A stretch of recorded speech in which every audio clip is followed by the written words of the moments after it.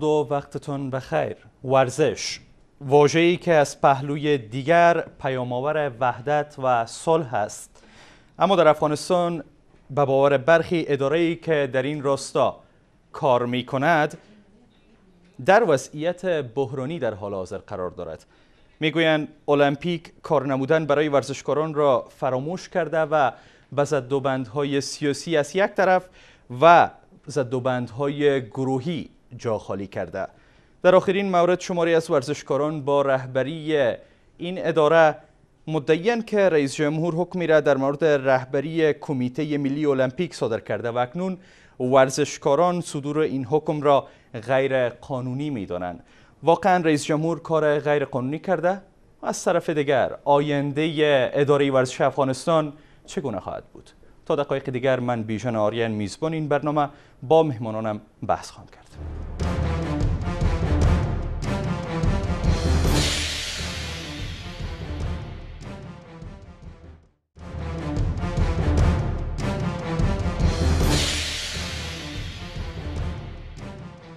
باز هم خوش آمدید. در این برنامه پس از خبر آقای غلام ربانی ربانی مسئول روابط خارجی کمیته ملی المپیک با ما هستند و از آقای جاوید خاور هم که یکی از مسئولان اداری المپیک افغانستان در زمان آقای فهیم هاشمی بودن هم دعوت کردیم. اما در این برنامه حاضر به گفتگو با ما نشدن. خیلی خوش آمدین. آقای ربانی. می‌خوایم به عنوان نخستین سوال بپرسم که در کمیته ملی المپیک افغانستان واقعا چه جریان داره؟ طوری که شما در جریان هستین کمیته المپیک افغانستان در آستانه آمادگی حضور در بازی های المپیک ریو 2016 برزیل است و یکی از مسابقات تدارکاتی بسیار ارزشمندش که چند قبل مسابقات بازی های المپیکی جنوب آسیا سیف گیم بود که شما شاهد بودین که ورزشکارای ما ما 200 ورزشکار با شمول هیئتشان در مسابقات که در رأس کاروان ما بودم اشتراک کردیم. و موفق به کسب 35 مدال از این مسابقات شدیم که از این 35 مدال 7 مدال طلا بود 9 مدال نقره و 19 مدال برونز که افتخار بسیار ارزشمندی بود. و حال هم ما آمادگی داریم برای بازی های المپیک ریو 2016 برزیل. با چالش ها و مشکلاتی که فرارای ورزش بود. نهایت کوشش کردیم که ورزشکارا را آماده کنیم تقریبا در حدود 6 5 6 8 رشته برای آمادگی بازی های المپیک ریو با در نظر داشته فرصت بسیار کمی که مانده. اما در این جریان مزاحمت ها مشک، مشکلات و دردسرای بسیاری وقت از طرف اشخاصی که به عنوان روابط یا به اصطلاح آمیانش بگویم کمیشن کار با ارگ هستن مزاحمت های زیادی را در ورزش کردن طول مثلا چه کسانی کمیشن کار هستن؟ به طور مثال اگر واضح تر براتون بگویم که شما شاهد بودین که ورزشکارها تحسن کرده بودن تقریبا دو سال قبل. ورزشکارای تکواندو که رولای نیکبا یگانه مدال المپیکی تکواندو بود که به دلیل امین نابسامانی حضور افراد غیر تخصصی و غیر مسلکی در ورزش و مزاحمت های از اونا کشور بر رسم اعتراض ترک گفت و بهترین قهرمان از ورزش حیمه تحسن داشتن. هر هفته می‌دیدین که دو بار سه بار گرد همایی و تظاهرات داشتن. تا بالاخره که رئیس و قبلی المپیک آقای فهیم هاشمی یک حمله مسلحانه را بالای خیمه تحسن ورزشکارا انجام داد. بحث بسیار پیچیده شد و بالاخره رئیس جمهور از هیئتی از طرف متموترزین دعوت کرد در ریاست جمهوری و او دعوت من شخصا حضور داشتم. رئیس جمهور مستقیما بر ما وعده کردن در جریان صحبت هایی که داشتیم. گفتن که ما در امور داخلی کمیته المپیک انتخابی است. حق تشبس نداریم و در ریاست تربیت بدنی ما تصمیم دارم که یک شخص کاملا با تجربه که هم تحصیلات عالی در ورزش داشته باشه و هم بزرگترین کارنامه ورزشی یک افغانی باشه بزرگترین کارنامه ورزشی را داشته باشه. ما اونا, اونا را میگماریم. اما در گرد همایی یا مظاهره امروز دقیقا از مداخله رئیس جمهور سخن زده شد. یعنی چی؟ با ادامه امین وعده که رئیس جمهور با ما کرده بودن امروز خلاف آنچه که وعده کرده بودن ما مشاهده می‌کنیم و عملا می‌بینیم. به طور مثال تشبس در امور داخلی کمیته المپیک عملا در فرمانی که صادر کردن این موارد تذکر دادن که این خلاف منشور کمیته بین المپیک و اساسنامه فدراسیون های جهانی و بین است که هرگاه دولت در امور داخلی فدراسیون های ملی و کمیته ملی المپیک هرگاه خلاف قانون تشبس کنه در امور کاریشان فدراسیون های بین مطابق با مقررشان او کشور در او ورزش یا در رشته و تعلیق می‌بره اگر در کل تشبس کنه در کل به تعلیق می‌بره در این حالت اساسی که ما داریم ما روحولای نیکپاک قهرمان افسانه ای ورزش افغانستان است. اونا را پس دعوت کردیم بعد از اینکه ما المپیک اصلاحات آوردیم. آقای اخبر رئیس کمیته المپیک شد تقریبا بیش از یک سال میشه. خاص به خاطر از اینکه امروز ها از کشور ما فرار می‌کنن. یک یک یک انگیزه شو به ها که وقتی یک قهرمان که برمیگرده دیگران باید برمیگرده صدور از این حکم دقیقا چه موادی را در خود داره؟ مهمترین بخشش چه هست؟ آیا می‌خواین که رئیس کمیته المپیک تعویض شود پس دوباره؟ می‌خواین که در اساسنامه‌ای که تایید شده از طرف فدراسیون های بین دوا سلیقه های خود را اعمال کنند. و کسایی که سلیقه هایش سلیقه ها سلیقه ها معمولا کسایی که می‌خواهند امور امورات داخلی ورزش تشبس کنند.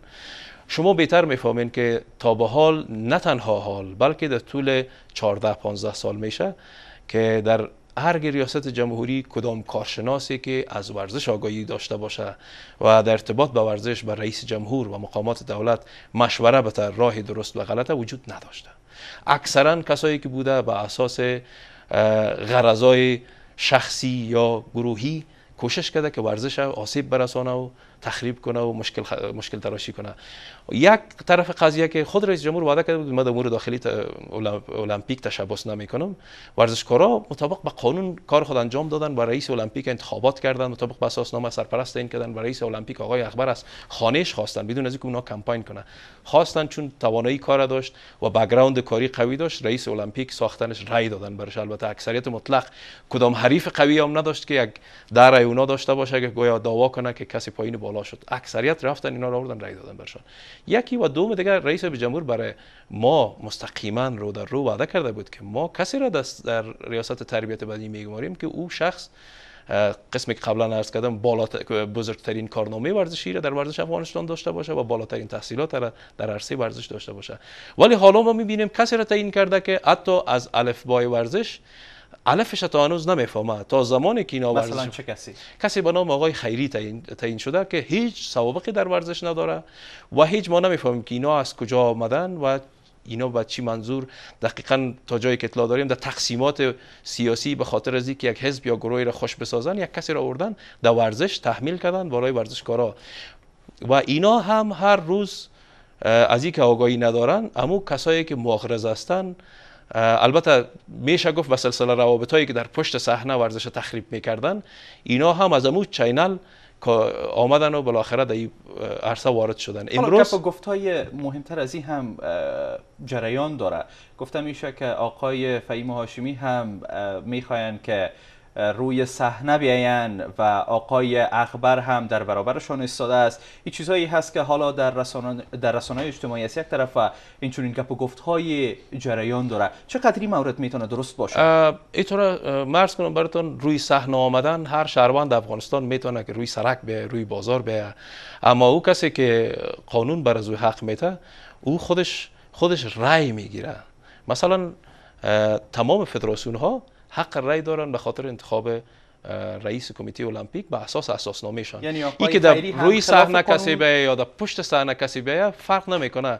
کسی که یک بار رای رد گرفت و حتی آقای فهیم هاشمی بعدا در یک در یک دادگاهی است به نام سارک در چیز است در لوزان است در سوئیس.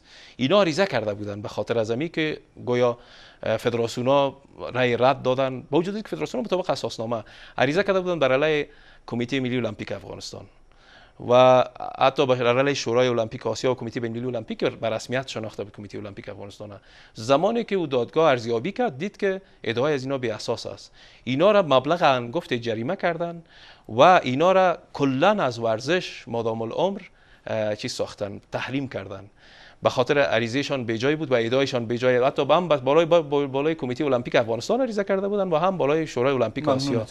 قابل یادآوری می‌دونم که آقای جاوید خاور آگاه امور ورزشی را هم در این برنامه دعوت کرده بودیم و یکی از مسئولان زمانی که آقای فهیم هاشمی در رأس کمیته ملی المپیک افغانستان قرار داشتند تا سوالاتی که مربوطشان می‌شد به او پاسخ بدن اما حاضر و گفتگو با ما در این برنامه نشدن حالا میشه شما ادامه بتین و به این سوال پاسخ بدین که واقعا آقای خیری پس حالا بر اساس حکم یا فرمان رئیس جمهور غیر قانونی گماشته شدن؟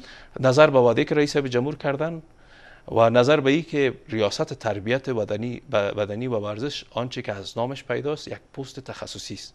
اگر شما یک انجینیر را ببرین با جای یک دکتر جراح اعصاب عملیات را انجام بده سر از او مریض چی حالت آمد خودتون قضاوت کنین. یک کسی که از شخصی که الف از ورزش نفهمه و بیای عملیات بالای ورزشکار انجام بده وضعیت ورزشکارا در حالت. شما چند قبل که دو ساعت ورزشکار در مسابقات بازی های المپیکی جنوب آسیا رفتن و افتخار بزرگی را کمایی کردن تا ثانیه آخر از طرف ریاست تربیت بدنی اینا تخریب شدن و اینا حق مسلمشان که بودجه دولت است که بر از اینا تکت اینا می‌گرفت برشان نگرفتن روحی از اینا رو شکستاندن. ما می‌تونستیم شاید بیشتر از این دستاورد می داشتیم ولی اینقدر روحی از اینا رو شکستن اینقدر مزاحمت کردن به اینا تا بالاخره آقای اکبر نظر بر روابط و اعتباری که داشت زمینه را مساعد کرد کشور میزبان کمک کردن اینا شرکت کردن.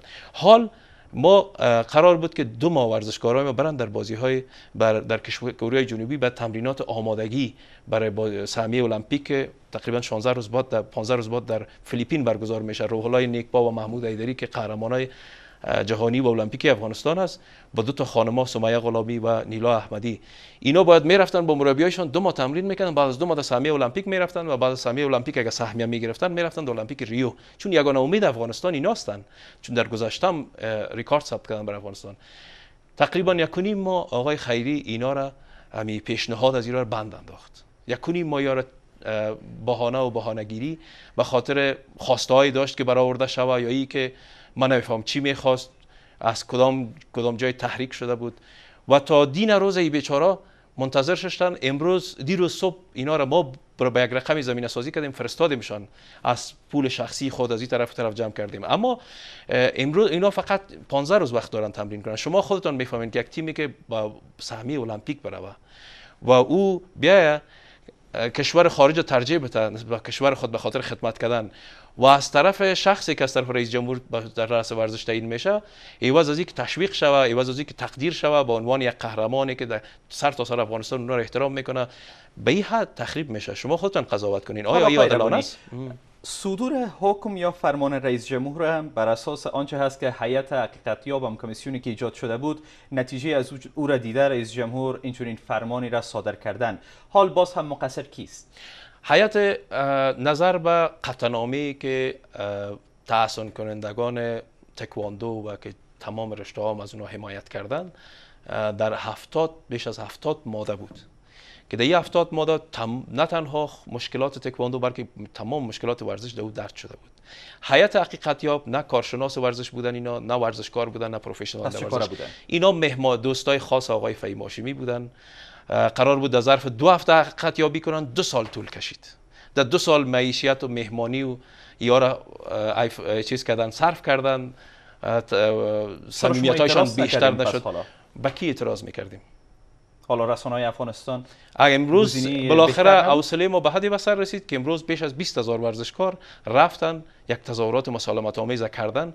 ورزشکارا یکی از بخشای عمده ورزش که تکمیل کننده ورزش است اخلاق ورزشی است و دیسیپلین ورزش است. ولی با تاسف در افغانستان از اخلاق و دیسیپلین ورزشی ورزشکارا بسیار سوء استفاده شد. امروز تظاهرات بسیار مسالمت آمیز صورت گرفت بیش از 20 هزار ورزشکار در اینجا حضور داشتند و این ورزشکارا آمدن در رفتن تا نزدیک ارگ پیام خود با رئیس جمهور گفتن قطعنامه را صادر کردن.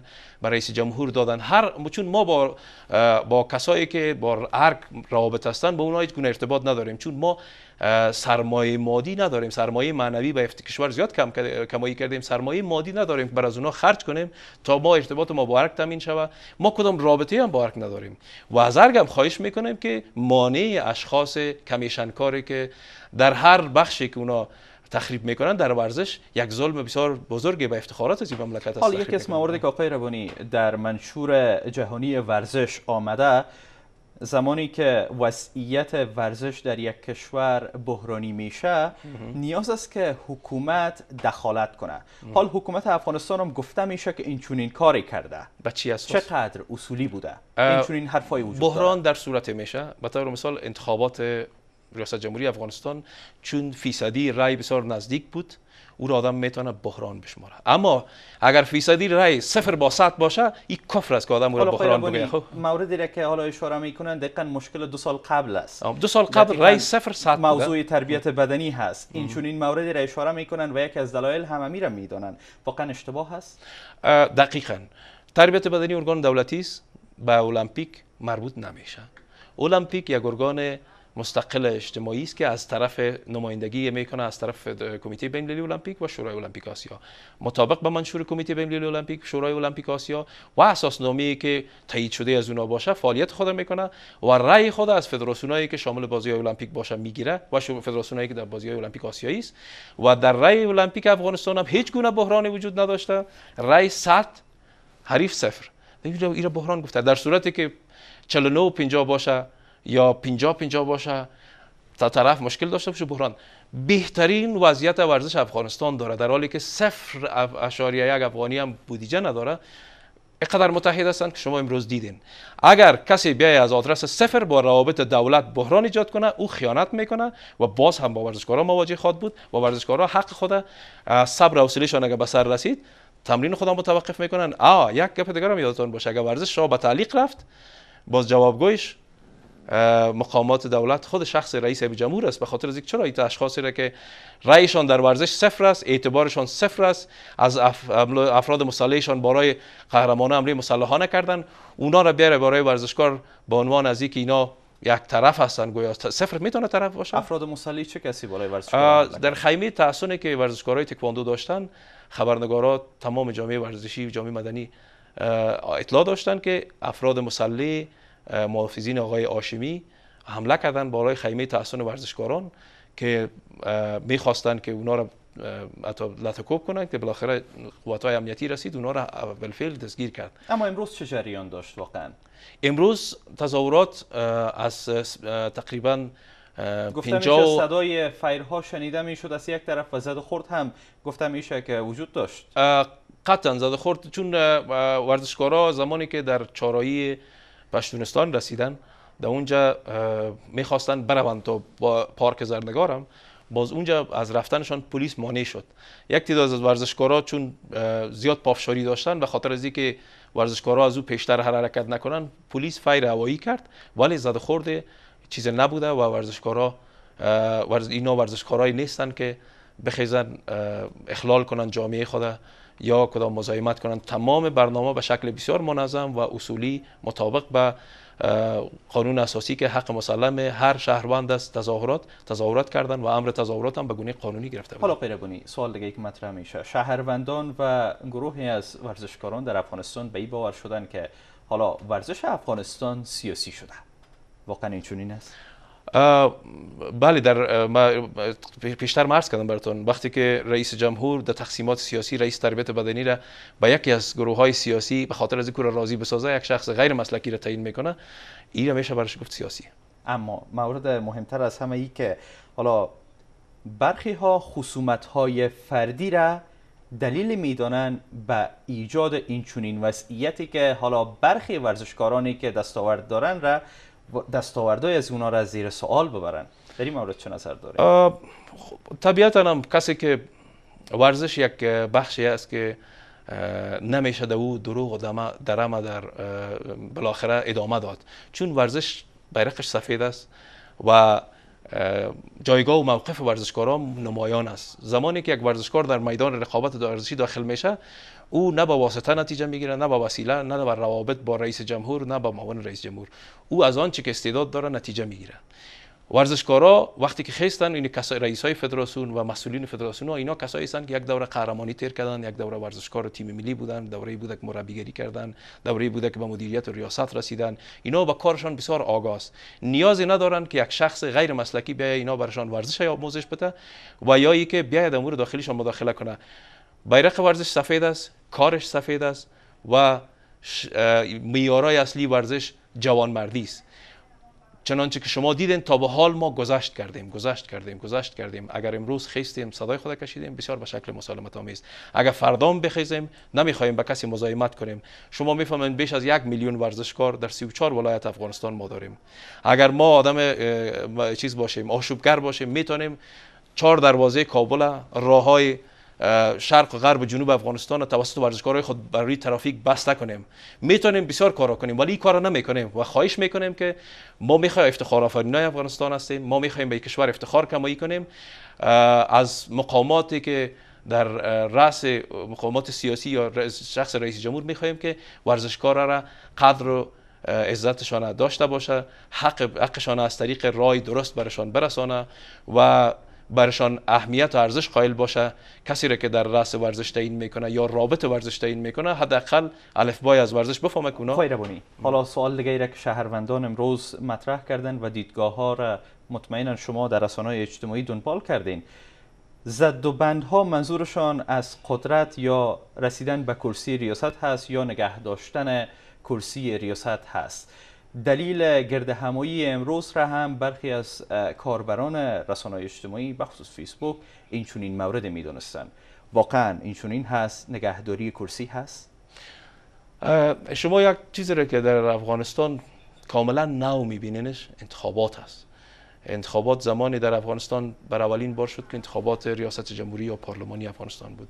در ورزش هم و انتخابات زیاد دیرینه چیز سابقه پیشینه در افغانستان نداره که طولانی باشه مردم آگاهی داشته باشه. زد و بند سیاسی در صورت می باشه که طرف می‌خواه با زور یا توان سیاسی خود نفوذ کنه بالای قانون پای بگذاره و از عبور کنه. در اینجا هیچ مشکل نیست در ورزش افغانستان. انتخابات مطابق به قانون صورت گرفته کسی کمپاین نکرده فشار سیاسی نورده شخصی که رئیس المپیک انتخاب شده با رأی اکثریت اینا نظر به کارکرد گذشتهشان که کارنامه خوب در المپیک داشتن تمام فدراسیون ها که صاحب رأی هستن اینا از خانهشان دعوت کردن برای المپیک ساختن. ما نمیفهم که کدام جای از یک فشار زور سیاسی باشه شما پیداش کنید اما ورزشکاران حالا شکایت از مورد دیگر هم دارن. شعاری که در آغاز داده می‌شد از طرف هر رئیسی که آمد به المپیک کار برای ورزشکار و. زمینی فراهم ساختن زمینی رشد ورزشکار. گفتم میشه که این مورد سر جای خودش مونده شده به جایش حالا آمدن. برخی مواردی را حالا بالا می‌کنن یا دامن زده میرن و روی مواردی بحث می‌کنن که اصلا ارزش نداره. دقیقا باز هم تاکید برخی ورزشکاران روی این مورد است که حالا نیاز است تا اداره ورزش افغانستان زمینه را ایجاد کنه تا که ورزشکارا رشد کنه نه این چون این وضعیتی را خلق کنه. دقیقا در ارتباط با ریاست تربیت بدنی گپشان دقیق است. ولی در کمیته المپیک از زمانی که کمیته المپیک افغانستان انتخابات صورت گرفته متحدانه با وجود از اینکه قبلا نرس کردم صفر اشاره یک افغانی بودیجم تا هنوز برای کمیته المپیک افغانستان دولت نداده. بودجه هم که اختصاص داده تا بال چون کمیته المپیک دو سال میشه که از بدنی تربیت بدنی جدا شده. بودجه در اختیارش قرار نگرفته و با وجود از او هم کارها و دستاوردها و فعالیتها را شما عملا مشاهده کردین که کاروان افغانستان ورزشی افغانستان 200 نفر رفت افتخار کمایی کرد. روی برنامه مسابقات بیچ گیم که قرار است برگزار شود المپیک ریو سخت کار جریان داره و روی برنامه های دوره های آموزشی ارتقای ظرفیت مربیا ورزشکارا داورا و مدیرای ورزش برنامه ریزی های پیش رو هست. اما چیزی که بیشتر مصروف می سازه و مامانیت ایجاد می‌کنه امیف تقریبا تشبسات اشخاص مغرض سیاسی که بعضی وقت هیئت رهبری کمیته المپیک مصروف یعنی، تشبسات می سازد در غیر از از نظر حقوقی از نظر قانونی هیچ گونه مشکلی در کمیته ملی المپیک افغانستان و در فدراسیون ملی وجود نداره. آنچه که مشکل است از, از, از کسایی است که در داخل ارگ رابطه دارن از رابطهشان سوء استفاده می‌کنن کمیشن کاری می‌کنن و فشار میارن روی ورزش که بعضی ها را تحمیل کنن و مزاحمت کنن. می‌خوایم آقای ربونی یک ذره مشخصتر این سوال را مطرح کنم. برخی از نرسیدن سهمیه ایشان از آنچه که پولی که برشان اختصاص داده میشه سهمیه ورزشیشان. از جمله پولی که به چای یا نانی که روزانه داده میشه تا ورزشکار بره ورزش کنه. نرسیدن ای پول سخن می‌زنن. هنوز هم این مشکل جریان داره و به ورزشکاری که باید تمرین کنه و بعد از تمرین او پول را به دست بیاره تا بتونه که همون انرژی خود پس دوباره به دست بیاره ای پول برش نمی‌رسه. چرا؟ دقیقا ای پول بودیجه است که زیر اثر تربیت بدنی هم ریاست عمومی تربیت بدنی نه زیر اثر کمیته ملی المپیک فعلا.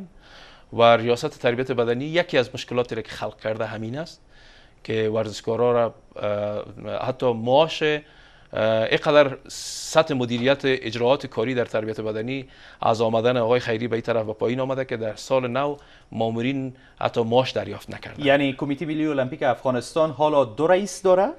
نه کمیته المپیک ارز کنم نه کمیته المپیک جداست و ریاست عمومی تربیت بدنی و ورزش جداست. ریاست عمومی تربیت بدنی و ورزش اداره دولتی است که از طرف دولت آیا زیر مجموعه کمیته المپیک نامده نه خیر اونا جداستن. کمیته المپیک یک ارگان جداست که اینا برنامه‌شان جداست. اینا قبلا یک اداره بودن از دو سال به این طرف اینا جدا شدن. در تمام دنیا جداست و جدا کار خودمون جدا می‌کنن اینا جدا. چون اداره دولتی است و اونا غیر دولتی. اما قرار بود که با هم ملحق شوند از یک طرف از طرف دیگه ملحق شدن از یا خلاف قانون است؟ در گذشته چون افغانستان ورزشش بسیار قوی نبوده یک چیزی به نام کمیته المپیک و اداره کمیته ورزش جور کرده بحث تحریم هایی که حالا حرفای از تحریم زده میشه دقیقا. گفتم میشه اگر این وضعیت ادامه پیدا کنه و وضعیت بحرانی تر شوه قرار است که ورزش افغانستان و کمیته ملی المپیک افغانستان از طرف کمیته المپیک جهانی تحریم شود تعلیق بروه بله. پیشتر مرز کردم براتون وضعیت ورزش بحرانی نیست. دولت در امور منظورم از کمیته المپیک است. دولت در امور کمیته المپیک و فدراسیونات در طی حکمی که رئیس جمهور شاید هم هیچ متوجه نشده باشه امضا کرده باشه. دو مشخص شده که در امور المپیک و فدراسیون ورزشی تشبس دولت صورت گرفته. یعنی رئیس جمهور متوجه نشدن؟ و متوجه هم اگر شده باشه خب رئیس جمهور پروفشنال در ورزش نیستن. خودتان بهتر می‌فهمین و کدام کارشناس و کارشناس ورزشی هم در کنارشان ندارن که این باریکی را برشان می‌گفتن. و کسایی هم که این سناریو را جور کردن اونا پشت صحنه از چند سال بعد تخریب می‌کنن ورزش. پس حالا آینده ورزش افغانستان چه خواهد شد؟ در صورتی که دورنما را چگونه می‌بینید ما در مثالش هم میارم براتون در هند که ما چیفت میشن بودم در سیف گیم بازی المپیک جنوب آسیا. ورزش بسکتبال هند که دولت در امور فدراسیون تشبث کرده بود فدراسیون بین المللی بسکتبال فدراسیون هند به تعلیق برده بود. امی ورزش بسکتبال هند. زمانی که اینا میزبان SAF Game بودن جنوب آسیا فدراسیون بین المللی بسکتبال به فدراسیون های جنوب آسیا. ایمیل روان کرده بود که شما حق شرکت در این رویداد ندارین. اگر شرکت کنین ما شما را هم در تعلیق می‌بریم. هر قدر که دیپلماسی و اندام می‌بینین یکی از کشورهای بزرگ دنیا است. بیش از یک میلیارد نفوذ داره و در سی و اینا نفوذشان زیاد است. هر قدر که اینا کوشش کردن که مشکل حل کنن فقط گپ می‌شد که دولت اگر از تشبس خود کنارگیری نکنه در امور فدراسیون بسکتبال هند ما تحریم خود ادامه میتیم حتی رویدادهای رسمی را اجازه نمیتیم که هند میزبان باشه. آقای غلام ربانی ربانی مسئول روابط خارجی کمیته ملی المپیک افغانستان. و پس از خبرم شب هم در همینجا پایان رسید. تا دیدار بعد الله حافظ.